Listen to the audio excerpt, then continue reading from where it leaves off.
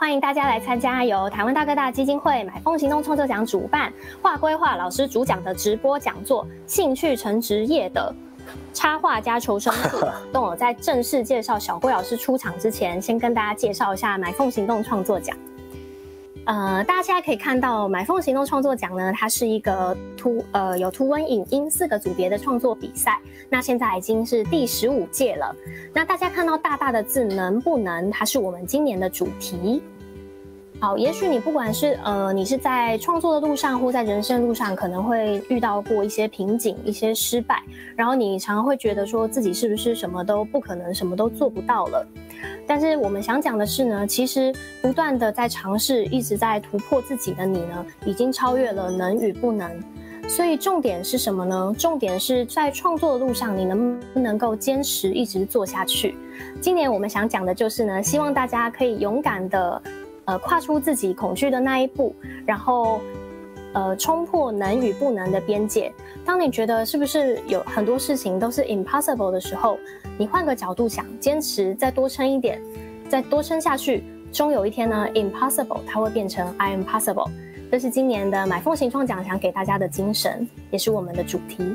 那接下来呢，就要来跟大家介绍了。在这个主题之下，买凤行动创作奖有四个组别，分别是讯息文学、原创贴图、原创歌曲，还有微电影。我们呢，总共寄出了总奖金高达四百万元，竞赛加总扶持奖金更是破千万。接下来跟大家介绍这些组别分别在争，呃，争什么样的创作作品呢？首先是讯讯息文学，可能很多人有听过，就是简讯文学，它已经有十五年的历史了。那这个组别啊，我们有分就是行动讯息，还有稍后会提到的故事接龙。行动讯息呢，我们分为时事组和成语诗词创新应用组，征求的是七十字内的作品。那我们的首奖呢，高达七万元。其实不一定要写到七十字，一句话就有机会可以拿走万元的奖金。那评审阵容都非常的坚强，都是我们就是创作界的黄金评审阵容。那我们来看看到底什么样的句子可以得到奖金呢？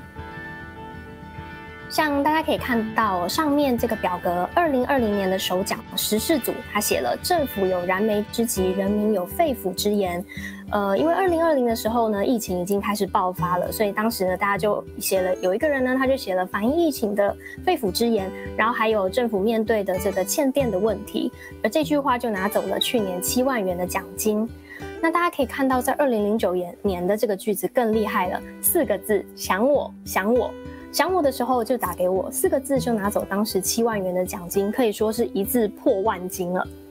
那如果呢是你的句子里面有用到成语诗词，就古语的一些改写的话，你可以投稿成语诗词创新应用组。像去年的首奖一样的呼应了疫情，他写了“人生得意须尽欢”，他改了原文里面的“意”和“尽”两个字，就有让这个句子有截然不同的意思。所以呢，这个只要发挥创意改编成语诗词创新应用呢，就有机会可以获得也是七万元的奖金。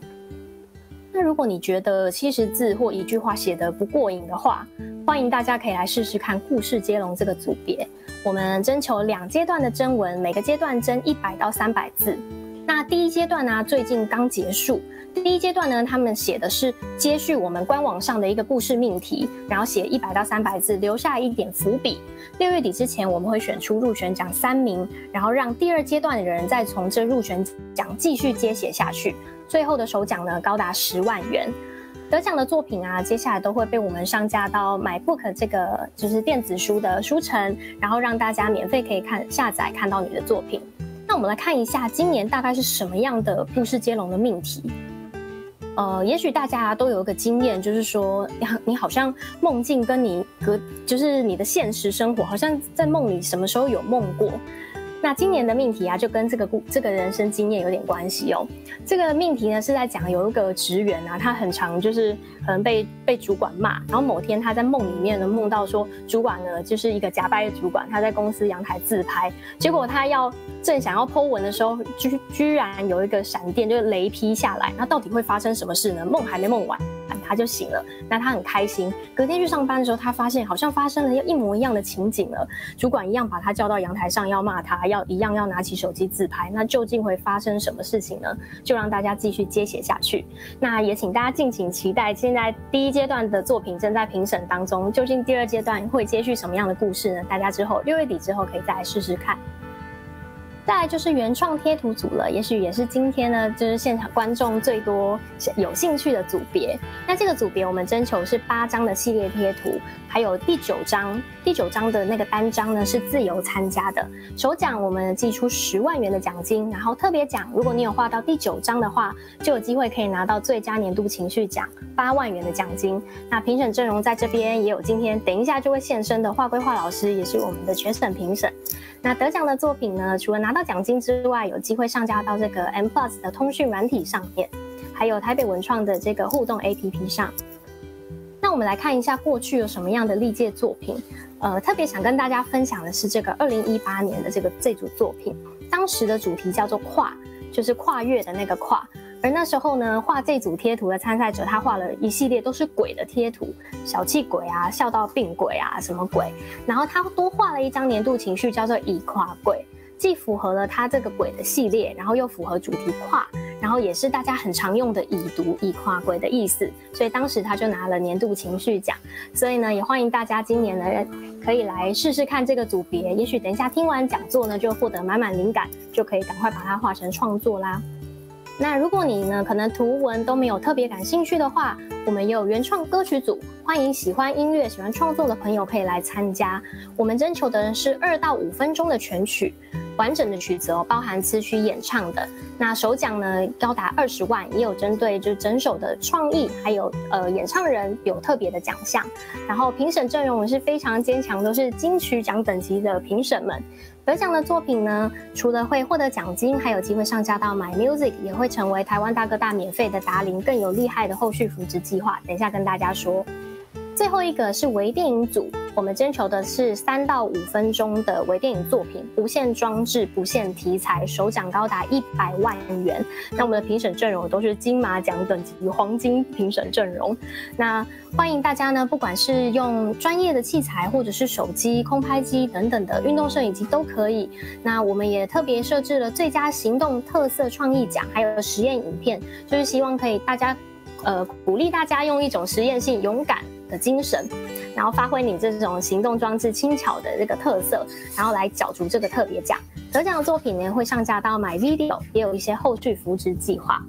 这边让大家看看一下，呃，历届作品。过去我们有分专业器材的作品，像左边的这上下两个都是专业比较专业的器材来拍摄的，那另外两个呢是用手机拍摄的。而今年呢，我们不限装置，不限题材，欢迎大家不管用什么东西拍摄都可以来投稿哦。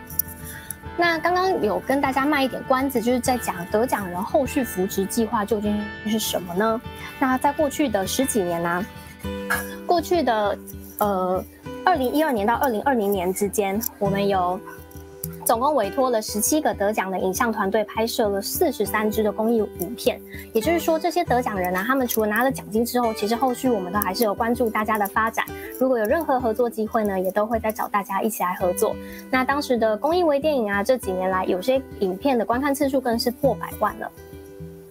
再来是歌曲组呢，之前呃，我们针对影音的影音这两个组别的创作人，特别设置了一个叫“勇敢追梦”的计划。在二零一六到二零一八年呢，我们针对了歌曲组的得奖人。呃，就是挑选挑选出了这三年总各挑选一组的得奖人，那我们扶持他们成为素人歌手，发行了单曲，那些单曲的 MV 啊都破百万观看次数。那后来呢，也成功的送这几位素人歌手呢登上这个跨年农历年的红白艺能大赏小巨蛋的舞台。那在二零二零年的时候呢，我们更是扶植了一个影音双栖的人才，就是他曾经是微电影的首奖，也是歌曲组的首奖。那我们呃找。找了王小弟老师一起担任追梦导师，和这个得奖人共同创作了一部叫做呃台湾的原创歌音乐短片，它叫做奇幻书店，二十分钟的长度，那九天呢就已经在 YouTube 上面破百万的观看次数了。主题曲 MV 也非常好听，欢迎大家可以到呃网络上搜寻。所以呢，这边想跟大家讲的就是，只要你愿意跨出第一步，然后可能交出交出你的创作的作品，其实未来呢都有机会。除了拿到奖金之外，未来创作的路、创作的梦想都是能够开启无限的可能。希望大家能够发挥呃冲破能不能这讲解的精神，相信自己是 I'm possible 的，然后勇敢来投稿。好啦，那接下来呢，我就要我们就要欢迎今天的老师出场了。然后呃，今天呢，我们的要欢迎的是全台最叛逆、最恶搞的小学生，就是常常呢。用一种颠覆的眼光看待世界，然后他好像看起来很厌世，却对社会议题有很多的关怀。好，他是谁呢？他就是小学课本的逆袭创作人画归画老师。好，让我们呃请老师来跟我们分享一下，究竟呢兴趣如何一步一步成为老师的这个职业？那现在成为全职插画家的老师又在做什么呢？又是如何生存的呢？好，那我们现在掌声欢迎画归画老师。自己掌声，耶！耶！好，好，大家好，我是小学课本记的小龟。然后呢，就是如果有人不太知道我的话呢，我就是啊，在脸书的粉砖跟 IG 的粉砖叫小学课本的逆袭，我是创作者。然后呢，其实我不是学画画的，我大学的时候是念运动与休闲学系的，就是我本身是学运动的，然后所以就是跟画画是不太相关的科系。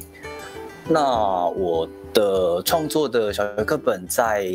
呃二零一五年的时候创作推出，然后那时候在当年的销售额就有破千万的台币，然后每个月平均的贴图接收次数也超过两千万次，然后等等粉丝团啊人数也是在第一年慢慢的慢慢的成长，然后到现在为止也画了超过三十组的各式各样的贴图。那合作的单位当然就是像赖啊、IKEA，还有跟总统府，到今年有跟哦，去年有跟唐氏症基金会合作，还有跟今年跟虾皮购物合作，还有当然最重要的，今天跟台湾大哥大行动创作奖，今年也是迈入第四年的合作。然后就是在这段时间里，也没想到说可以借由画贴图，就陆陆续续的可以跟这么多的单位有过哦合作的关系这样。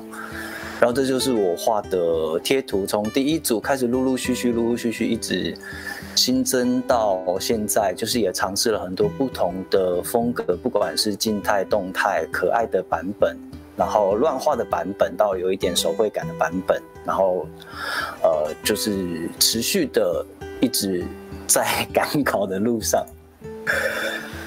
然后这边是一些合作的动态。就是从一开始可能跟呃 KKBOX 的图文合作，还有跟统一轻松小品的合作，才慢慢的跟市场上有过比较多的曝光跟接触。那要讲到说我从创作贴图开始，就是为什么会从啊学运动的到变成画贴图的。过程呢，就是我在大学的时候，其实我就本来就不是一个会，就是很专心念书的学生。我就是系学会、学生会，然后还有在打工啊，然后打排球队啊，然后当女排的教练啊，基本上就是，并不是一个那么认真在念书的人。然后我自己很喜欢画画，所以当时也是因为。呃，做了很多有的没的事情，但是其实我家境不是特别好，那就是每个月的，呃，要怎么说呢？生活费很少，那时候每个月只有六千块，然后六千块你要吃饭，然后要买教科书，然后又要付一些其其他他的费用，其实每每每天的，就是可能只有一百块可以吃饭这样，所以我就会去画一些帽子，然后画一些东西去摆摊去卖。然后那时候就是本来就喜欢画画嘛，所以就是进一些卡车帽，三四十块，然后你画完之后，这可能可以一百五、两百块把它卖出去，然后就会赚了一点生活费这样。那后来到了工作之后的日子呢，就是其实我也是从呃运动休闲毕业之后，并不是那么的呃。可以找到相关科系的工作，你要么就是当体育老师，不然的话可能就是要当健身教练等等之类的。那那都不是我的兴趣所在，而且那时候就很焦虑，说怕自己找不到工作，所以我第一份工作是补习班的业务，所以那时候在补习班的时候，其实我第一份薪水只有二十 K，就是连二十二 K 都不到，就是只有二十 K 的工作，然后那时候啊每天就是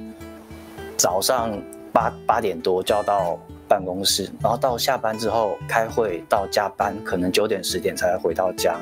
然后那时候到那个学校里面要发传单，发一些补习班的传单，我就会自告奋勇说：“哎，我可以试着设计看看，我可以试着把这个东西就是做个传单做出来。”所以那这个就是我那时候 做的传单，然后其实很丑啦，就把一些字全部都塞进去，而且就是用 Word 做的，很很简陋的东西。只是那时候就是第一次从哦手绘的东西。变成是在电脑上面做设计跟创作这样子，然后其实我是不喜欢做业务工作的，我很不喜欢去强迫别人或者是推销别人去做他本来没有打算做的事情。然后我们那时候的一个手法就是到清大去，然后拿一块披萨，就跟他说：“哎，同学同学，我们等下这次中午在这个教室有一个小小的披萨的讲座。”那你来的话就可以免费吃披萨，那你吃披萨，我们就可以跟你稍微讲一下，哎，来我们这个补习班补习啊，会有什么样的好处？你考研究所会怎么样怎么样？然后那时候就是慢慢的训练自己，敢在更多人面前说话，然后我就渐渐的可以意识到说，哦，虽然这是我不喜欢做的事情，但是我希望可以在这个里面也可以学到，呃，我。更多的技能，所以我那时候就设立一个目标。虽然我不喜欢这份工作，但是我一定要做满一年。然后就是我讨厌我做的事情，但是既然我已经浪费时间在这个东西上了，我就不要呃完全的浪费。我就在这段时间里面能学什么东西，我就尽量学；能拿什么东西，我就尽量拿这样嗯。然后在下班的时间，就是因为那时候其实，在清大，呃，跑业务的时候，也认识了很多学生，也认识了很多那边的同学，他们都知道，就是后来有一些比较熟的同学就知道说，哎，我是喜欢做设计，我是喜欢做插画的工作的。然后那时候就清大有一个同学，就也知道这件事情，我就请他到图书馆帮我借书，帮我借设计相关的书，然后，哦，我下班的时间。就开始学 Illustrator，我就边翻书然后边学，然后那时候就可能想说，哎，iPhone 可以自己投稿，去设计自己的 iCash 卡，我就自己开始摸，然后开始做设计。然后旁边这个可口可乐的 T 恤也是那时候，呃，Uniqlo 有在征稿，就是跟可口可乐有关的设计 T 恤，然后我也是去投稿。那那时候全球也是有，呃，好几十万件、好几百万件的投稿。然后我是有入选到全球的前六千件，虽然是只有前六千啦，但是对当时的我来讲，因为这不是我的专业，不是我的本科系，所以对那时候的我还是有一个很大的鼓励的作用。嗯，后来这个卡跟衣服有。就是它会有大量印嘛，入选全前六千，所以有印给没有没有，大家可以没有。没有六千没有，就是那时候卡的话是只有我自己就是做出来，然后自己很开心有一张自己的卡，然后衣服的话是就是啊有入选，然后入选之后有进到他们一个设计的网站，然后在设计的网站里面让他们去做票选，票选前好像前十名才可以嗯。真的印印制成商品吧。对，所以对对对是没有入选入有点像入围，可是没有最后得奖的感觉。对对对，有点像那样子获得肯定。嗯，对，因为当对对对对当时的我来讲是一个蛮大的鼓励。嗯，然后后来我就从呃补习班的业务做了一年之后，我确定说好我要转职，所以真的做满一年之后，我就转到了另外一个。活动企划公司，然后在活动企划公司里面就开始去，呃，会除了做活动企划之外，我们的公司有一个很厉害的设计师，然后我也是会啊一直去问他问题，一直去偷看他是 设计的一些小技巧等等之类的。然后，所以在计划的途中，可能我们会讲说，哦，在这个计划里面，我会加一些什么文创商品。然后那个文创商品，我可能就会想象它大概长什么样子，然后就会在可能下班的时间、加班的时间，另外的把它画出来、做出来。那这个本来就是，呃，不在我的职权范围里面，但就是多多少少可以去接触到我喜欢做的东西的部分，我就去做，我就去弄。然后，啊，有的时候设计师可能不在，那有个有的客户就想说，哎，我的名片想要改一下，把那个东西移上面一点，移下面一点。那办公室里面就是，哦，我会移啦，那我就可以去做这件事情，那就会给自己一个。肯定的感觉，就是我以前在下班时间翻书学的这些东西，我在职场上真的用到了。虽然是一个很很简单的小东西，但对我来讲就是一个哦，我实际上真的好像可以慢慢的用这个东西来在我的工作当中做运用，这样。嗯然后慢慢的，我啊，其实我做了很多份工作啦，我就是一个一个介绍可能做过哪些东西，然后来到了东升山庄去做那边的设计，就真的是专职做设计了。然后有设计了，呃，在东升山庄里面的他们的角色，现在的公仔，然后后来他们也有做成那个，啊。那个叫什么？反正就是公仔的衣服、公仔装。那只要你到到那边去，他们就会穿那个公仔装去跳迎宾舞等等之类的。然后还有他的形象手册。那那时候有开始做一些其他的设计的接案工作。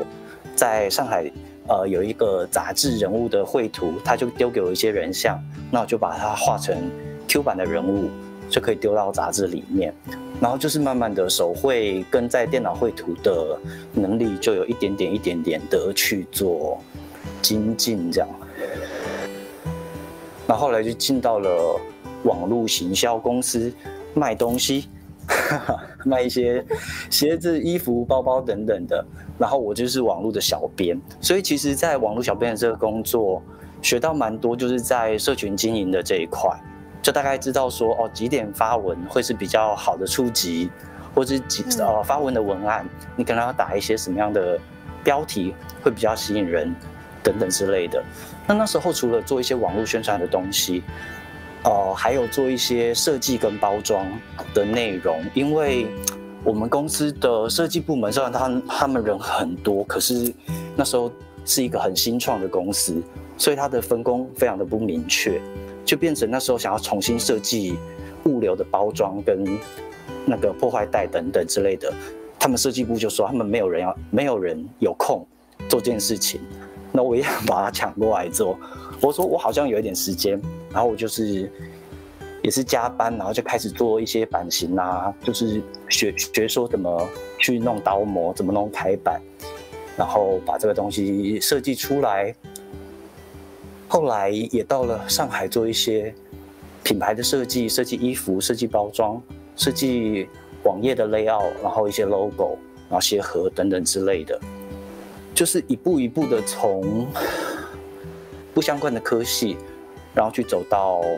现在，把这个东西当做工作在做这样。那这些是跟一些朋友，他们知道说，哎，我会画图，会做 logo 设计等等的，然后就会丢案子给我，问我说有没有空，可不可以帮他做一些不同的 APP 啊，或者是他们想要开吉他店啊，想要自己做部落格啊，就帮他们设计一些图案、一些小 logo 这样。那其实当时可能设计一个 logo 就是几千块钱，就是那种啊朋友间的友情价那种感觉。对生活上其实是，啊，不是，就是一点点小小的帮助这样子，但其实都对我来讲都是一个在设计跟创作上的一个很好的练习。然后这个是在江西的一个餐厅，也是因为之前发包啊、做 logo 啊，就会朋友间传来传去、传来传去，说，哎，有没有人会设计东西？然后就帮江西的一个餐厅做了一个。整体的视觉设计还有菜单设计这样，然后到了后来，那时候我已经在上海工作了。然后在上海工作的时候，我就想说，为了别人花那么多，那我自己呢？然后所以就是在闲暇的时候，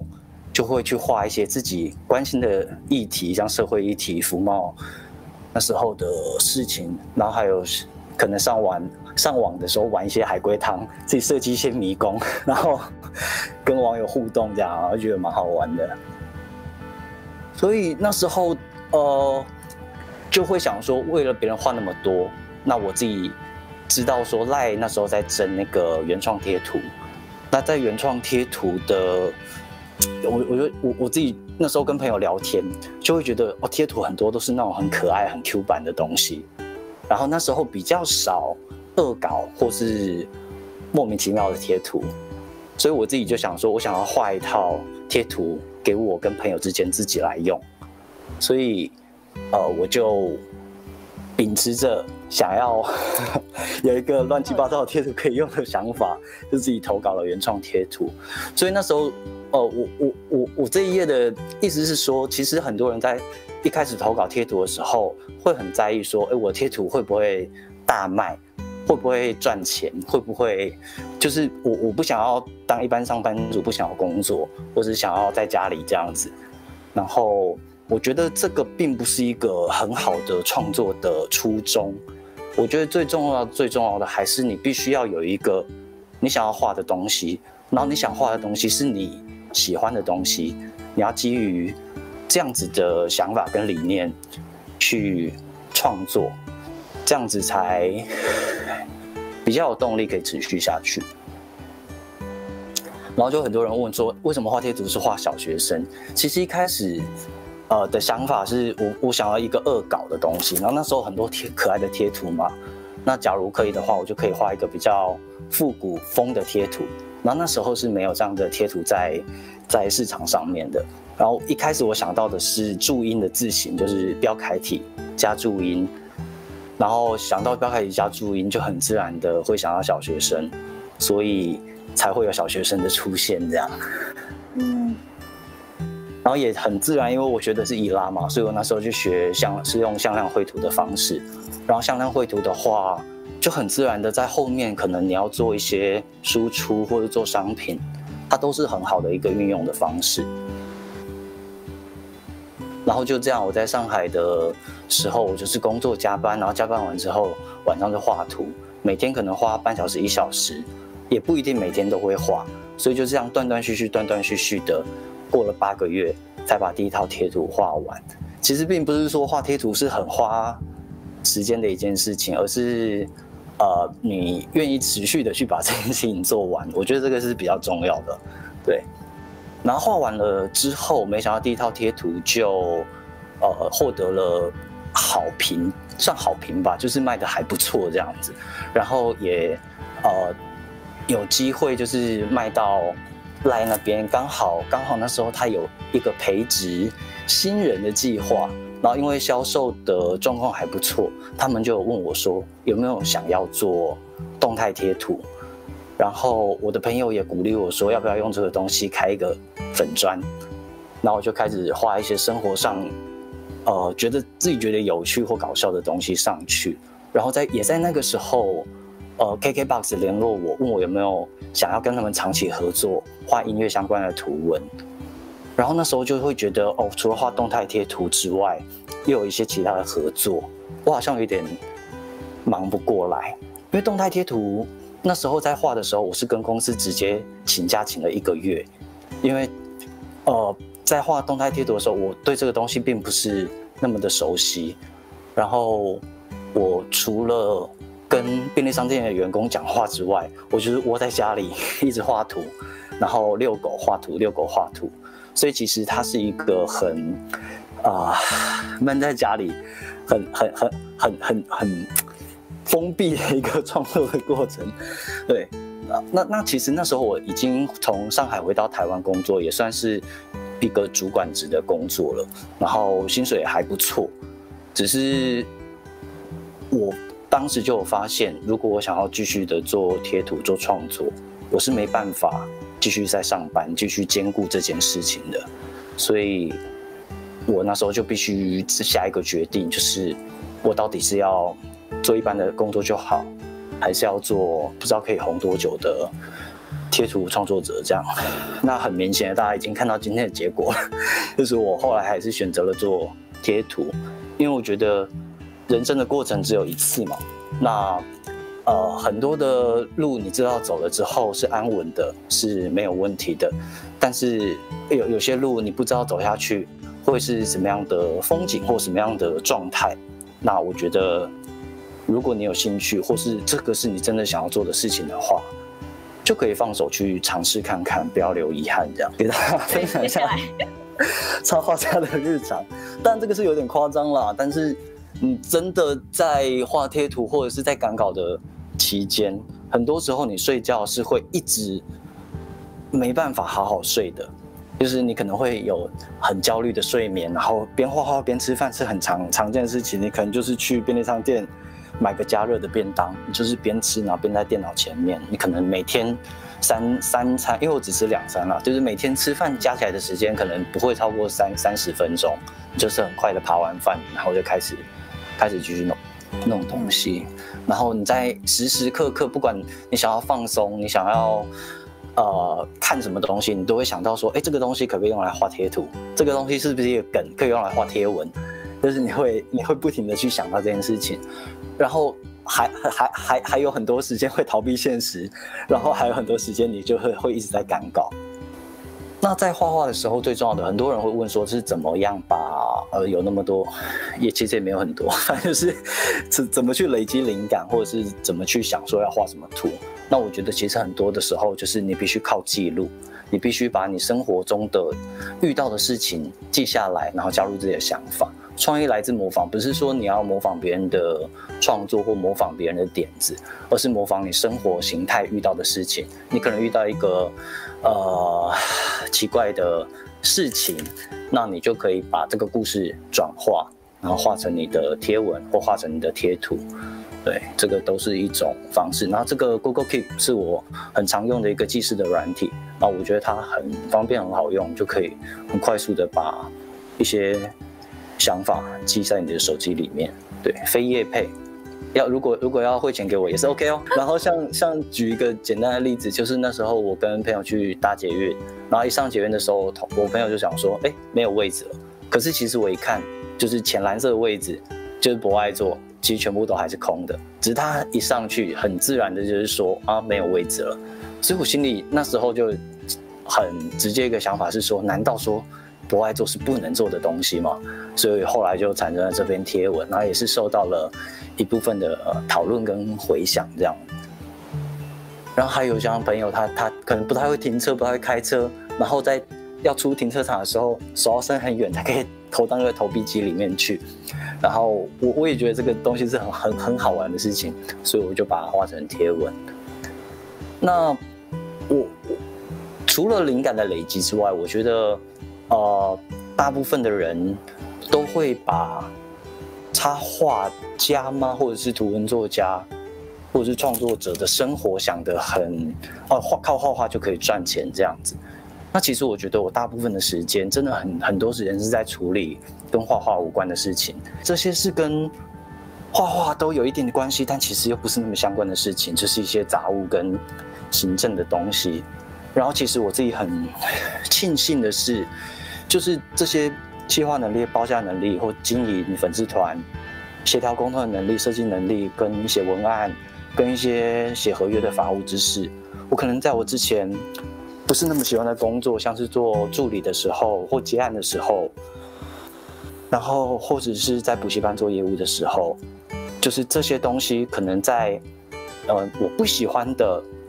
工作或大家觉得很琐碎的事情里面，那些。技巧却累积成了我现在在工作上很重要的技能，所以我我会觉得很重要的是，就是透过那些事情，我才可以做到现在喜欢做的事情。所有你讨厌的或是你不喜欢的事情，其实只要你经历过了，那些事情都会回过头来帮助你。一开始可能大家都会想说，我出社会之后，我的人生的。方向我要走哪？我要走左边还是走右边？那其实你真的到了求职的阶段，刚好现在是毕业季嘛，我相信很多毕业生如果要开始要找工作的话，就会有很明确的感觉，说好像每一个工作你都会想要偷偷看，就很想赶快有一个事情，并不是说你你你以为只有三个选择，其实是会有点毫无头绪、毫无方向的。那，我会觉得，如果你毫无头绪，或者是你更真的不知道自己可以做什么，或没有想要做的事情，没有梦想的话，你要怎么办？那我会先建议你先有能力。为主，因为我我我觉得，呃，很很多时候，可能到了三四十岁、四五十岁，都还不知道自己要做什么或喜欢做什么事情的人大有人在。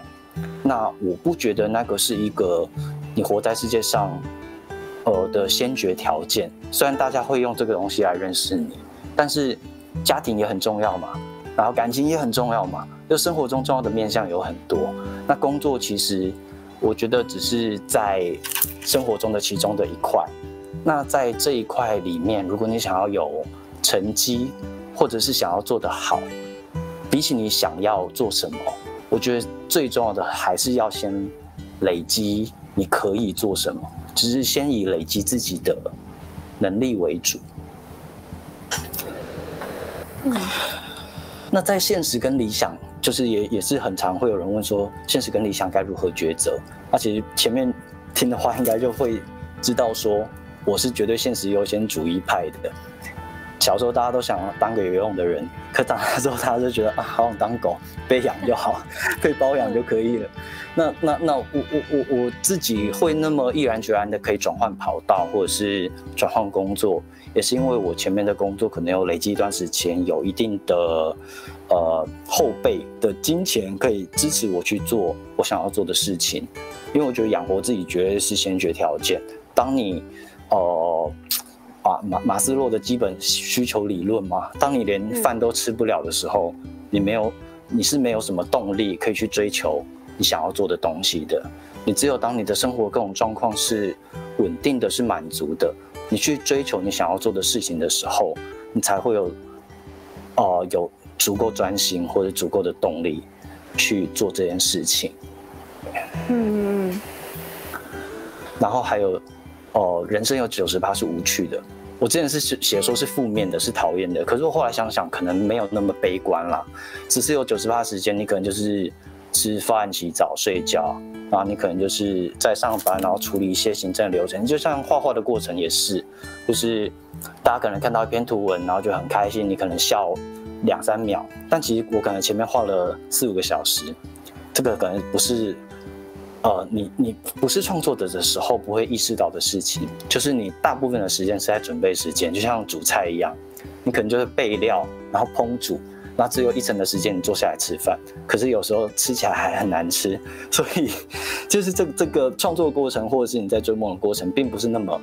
呃，投入跟跟回报是这么的，嗯，可以预期到说哇一定会很丰厚或一定很很赞的。你必须接受说，人生就是有九十八的时间是在做准备工作，是在做无趣的事情，但是其实只有那十趴。快乐的时间，跟朋友共享的时间，或是你觉得很满足、很有成就感的时间，那个时间就是很珍贵的事情。所以，九十八的无趣绝对是值得的，值得是绝对是你值得去体验的事情。所以，你可以讨厌你现在做的事情，可是不要停止从中学习。你可以不喜欢你现在的同事，但是如果你现在做的事情可以学到东西，那就稍微忍受一下，学到你想要学的，你再离开，你再转职。不然的话，你讨厌的事情就真的浪费掉你人生的一块学习的机会了。嗯嗯。然后这这本书有一本书叫做《如果世界是一百人村》，然后这是我还蛮每次演讲都会推荐大家看的一本书，就是不要轻忽自己的力量，因为我都会问，呃，哦，听听演讲的人说，在假如说。你浪费食物的话，是不是真的会对非洲小孩有影响？那 那那，其实如果你把世界就萎缩成只有一百个人的村子的话，其实有很多人的啊食物是过剩的。那如果只有一百个人的话，那很简单，只要那那些过剩的食物拿给那些不够的人吃，那世界就和平了。那只是你把世界放大到整个宏观的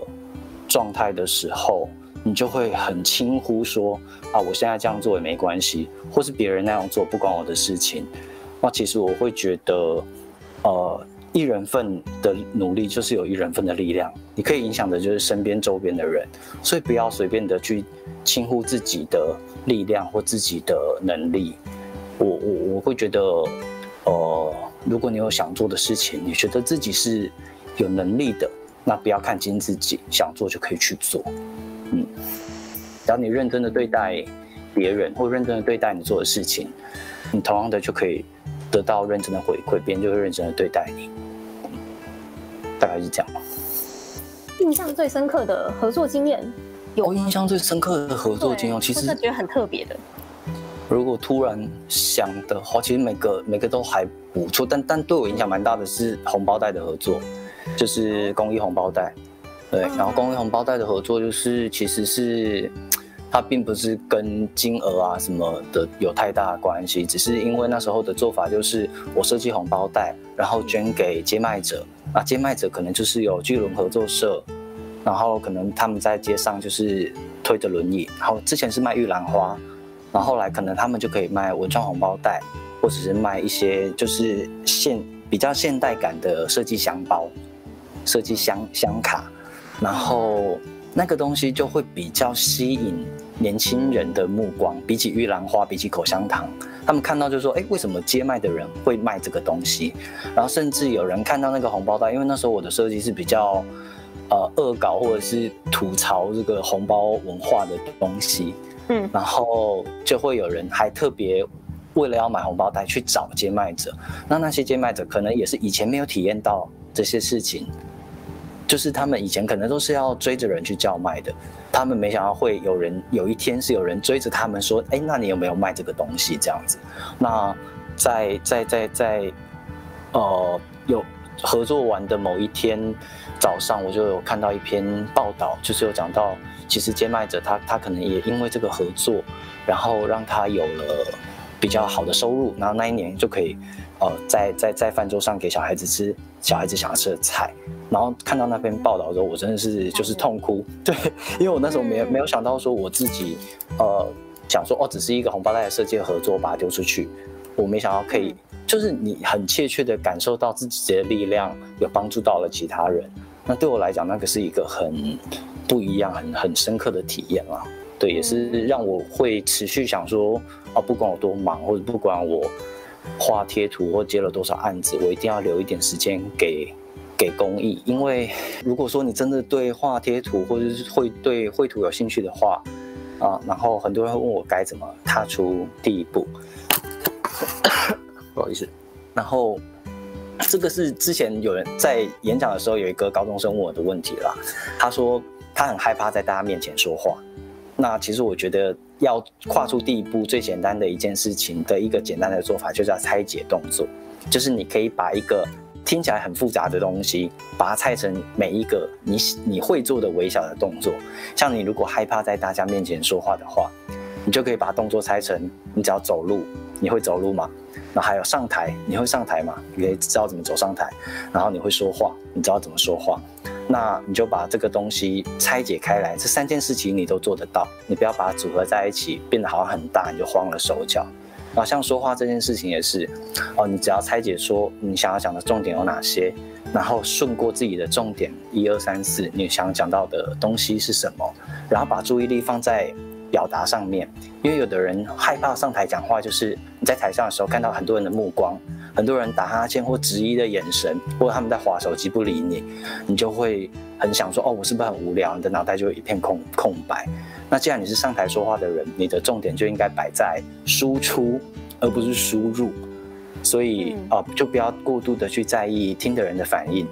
然后就把注意力放在表达，你就把这个。东西拆解再拆解，你就会发现，其实每件事情你都做得到。那像贴图也是，你一开始跟你说哦，你要画一整套贴图，你可能会想说，那我要画什么？我根本不知道我有什么东西可以画。那其实很简单，你是可以把贴图的架构拆解开来，贴图你可能可以分成不同的角色，你那些角色各占几趴的比例，然后在贴图的文字或使用的情境上面，你可能是想表达喜怒哀乐情绪的表达，或是你想跟人家说哦 OK 不 OK 这些中性沟通的字眼，或是你本来就有些口头禅或恶搞的东西，那些其他类的的项目，你都可以把它分类开来，把它拆解。然后像中性沟通的部分，可能有好啊、谢谢、没办法、晚点回、饿了、晚安、不客气等等这种沟通用语。那你在这些沟通用语之中，就可以想到一些可能比较有趣的动态，或者是文字的表达方式，去改变。像饿了，你我我那时候就想说，饿到快变 model 了。那或者是拒绝人，就说不不行，然后变成抱歉，生理上无法接受。就是用另外一种转化的方式，去让家人家会觉得说，你这个贴图好像跟别人的表达方式不太一样，这也是一种做法。然后在情绪表达上面，像喜怒哀乐、惊讶、赞啊、泪啊、不开心，其实我觉得赞赞很重要啦。几乎每一组贴图都一定要有一个有关于赞的表现方式，不管是不是赞这个字，哇，好棒，呃。牛都可以，看你要怎么怎么怎么去去表现。但是这个真的是在每一组贴图里面都要有的，才会让人家觉得好用。不然的话，很容易就是你在用这个贴图的时候找不到这些常用的字眼，你就会跳到别组贴图去。所以这个我也是很建议在贴图里面要放的情绪之一。像那时候赞，我就改成你真的很棒，然后这个鼓励的用语。然后像喜怒哀乐，或者是我很懒，就是画一个在躺床上躺躺着用手机的现在的 me，这样子就是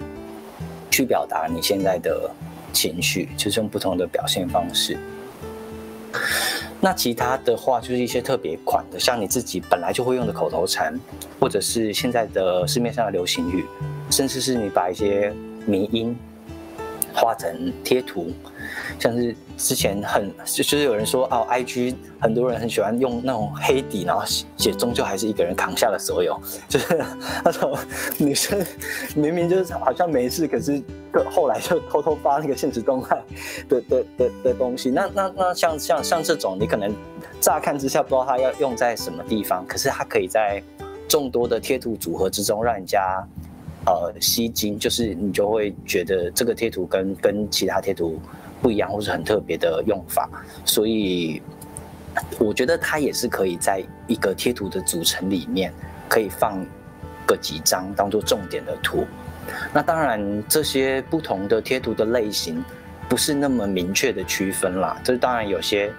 呃会有一些横跨或是都可以情境通用的，就就看你怎么去做设计这样子。那。依照了不同的比例来讲，你可能在使用的情境上就会有所不同。像工作跟业务用的贴图，它大部分就是在中性表达跟沟通的上面。那跟好友、跟情侣之间或者家人之间的，就比较多会是在情绪然后沟通，甚至恶搞的图就会比较占比会稍微再多一点。那更多莫名其妙或展现特色的贴图，你可能就很多是那种其他类别的图。所以就是看你想要怎么表现这组贴图，你就可以运用不同的占比的方式，去让人家对这组贴图产生不同的印象。嗯，那老师如果是像我们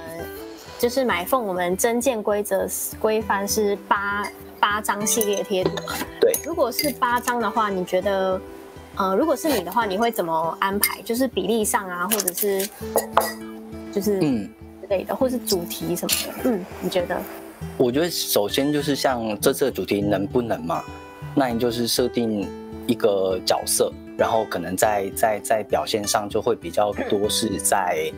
呃沟通跟情绪上面，例如你可以做到，就是赞或者是交给我吧等等之类，就是比较正向的贴图，或是这这这不可能，这不合理这种呃。不可能的类型的贴图，你也可以放一些进去。那也是看你怎么样去包装这些字词，就是改成你习惯用的形式，或者是角色可以用的形式。像之前有一个贴图，它画的是都是鸭子，所以它的所有的押韵都是说这不可能鸭，它是所有都的鱼尾都是放鸭子的鸭，然后它的整个贴图的形象就变得很可爱。所以这这这就是看你这，他就可以跟角色做一个结合。那在这八张贴图里面，我会建议你可能就可以放一两张是比较莫名其妙的，也或者是说可以展现你这个角色或者是你这个个人特色的东西，那就可以呃比较吸引评审的注意。因为假如你八张都是呃 OK 不行赞好拜拜早安午安晚安，那我们可能看过就忘记了。那两如果你有一两张是。呃，跟能不能或者是比较吸引眼球、跟年度情绪有关的的东西的话，那评审可能就会留下印象。所以在比例上，当然还是要以好用为主，然后再留一两张比较有趣、有特色的东西。我觉得这样就是一组比较完整、比较好玩的贴图。很多人会误以为说你在画了贴图，或者是被大家看见之后，你就从此过着幸福快乐的日子，你就大红大紫了。但其实我觉得，呃，只要你开始把梦想当做工作的事情，所有的名次啊，所有的比较啊的各种状态都是流动的。你不会永远都是第一名，你也不会永远都是最后一名。你可能某篇贴文拿到了几万个赞，然后这个下篇贴文只有几百个赞，那都是有可能的事情。所以我觉得很重要的是，呃，不要停止学习，不要停止去接受外面的声音，然后随时。检视自己做的事事情是不是偏离了本来自己想要做的，说，然后同时也要聆听不认同你的声音。我觉得这个还蛮重要的，就是有的时候，呃，自己走偏了自己不知道，或自己的情绪太激动了，这这个东西可能在朋友之间，呃，沟通是可以讲的，可是放在大众的场合就是不适合的。那那那可能外面的人的留言或提醒。那个就可以让你去反思，这个也是很重要的。可是当有人盲目攻击你的时候，你也要学习去过滤，不要全盘去接受。那这个就是比较后话了啦。就是当你开始以这个为职业，或是你开始在经营粉砖，或者你把自己当做 KOL 在做的时候，你可能就必须要注意到的一些事情。那这些事情并不是说就可以让你，呃。就是成功的方针，但至少可以让你过得比较，不要太被这些事情影响到你正常的生活或正常的心情。那保持正常的心情，你才可以有稳定的创作跟输出。所以我觉得这几点都还蛮，是我自己觉得还蛮重要的心得啦。嗯。然后我觉得最重要的就是体验吧，就像刚刚我会选择做插画而不是做稳定的工作一样。我觉得就是好好的去体验人生，把人生当做是游乐园的门票，就是你就算现在待的是鬼屋，你回头想想也会觉得被吓的过程很有趣。你现在可能搭的是云霄飞车，然后你冲到低点，但是你之后可能还是会往高点去，你不知道，所以你不用太在意自己现在所处的位置在哪里，或你现在有志难伸，或是现在没办法。呃，就是做自己想要做的事情，我觉得都是在体验人生的一环。所以我觉得，如果你是对画画有兴趣的人的话，我觉得当做体验人生就可以跨先跨出第一步，就是去点到了投稿，对，没错，投稿就可以来参加看看创作奖，就像我那时候投稿嗯 Uniqlo 的 T 恤一样。就是我，我那时候也是抱持着好玩的心情，这样其实也没有花我太多的时间，而且我觉得之后它也是你可以当做你累积作品的一部分，我是觉得不吃亏。尤其现在在疫情的期间，大家很多时间都待在家里面，那我觉得如果这个创作同时可以帮助你抒发一点心情的话，也可以抱着就是。哦，志在参加不是会得奖的想法去做，我觉得通常这样都会有蛮好的结果啦。就是当你画你真正想要表达的事情，就是你诚实的面对自己的创作的时候，通常评审都很容易会有共感，这是还蛮奇妙的东西。所以我我我会觉得你可以当做体验人生，跨出你的第一步来投稿看看。那假如说真的哇，就是大家有有有共鸣，然后中奖了，也可以有一笔奖金，我觉得也是蛮好的。其实那时候就是在在参加这个啊，叫受邀参加这个评审的时候，就有画了这张挑战不可能。然后这个图就是在填手肘。然后其实大家应该就是网络上就有看到，不管你是小时候还是高中的时候，听到人家讲说，人是不可能舔到自己的手肘的。然后通常你会做的第一件事情就是试看看，就是拿起来舔看看，不真的舔不到啊？就是，嗯，其实我我会觉得在小时候。啊！别人跟你说你不能做到的事情，或你不可能做到的事情，你反而会很轻易或很快速的赶快去尝试看看。反而是你年纪大了，或是这件事情的复杂度增加了之后，你反而呃会开始就是停下脚步，或开始会犹豫，开始不肯去尝试。那我会觉得这是一件很可惜的事情。所以我画这张图，我觉得大家可以不妨回到最初的想法或最初的初衷。去想看看，说这个事情真的不可能吗？我就试看看嘛。就算是失败了，其实就就就拍拍屁股，还是继续走下去啊。就是所以，我我会觉得，只要有机会可以尝试的话，都可以像小时候的自己一样，傻傻的去挑战不可能的事情。这也是之前的创作，是那些年的怀旧小玩具。然后那时候也是当年的首奖嘛。那其实我觉得这个贴贴图的创作的概念就很好。就是他有怀旧的小玩具，然后每个小玩具可能就是有一定年纪的人都有看过的，然后他搭配的字，像是在孵蛋嘛，那个孵蛋机，大家就是对他很有印象，然后他的字词又是很实用的，他每个搭配的字跟呃图都很融洽，又好用，然后又有梗，然后又会让人会心一笑。然后再发大财的那一个就是，呃，那时候韩国也很红那时候的一句话。然后他是当选，那他把这张图投稿是年度的表情、年度的情绪的贴图。然后所以这整套就非常的完整，就非常的有童趣，又画的很很很很很漂亮。所以当时对他的印象就很深刻。这个作品我补充一下，因为那年做的主题叫做那个反古反古啦。哦，对对对，对，返回古代的那个反古跟叛逆的反古，所以那个就结合了返回古代复古的玩具跟就是那种什么暗啊，就是这种比较反古的用语。所以那时候对对对对对，就结合到这个主题，就就这个还蛮蛮蛮重要的。好，最后哎，有人来，谢谢老师，谢谢老师，谢谢谢谢，谢谢老师，谢谢老师。好，那我最后来这边做，真的有帮助，嗯，对，做一个 ending 啦。非常谢谢老师，今天花两个多小时，然后还在憋尿的情况下跟我们聊完了怎么样把，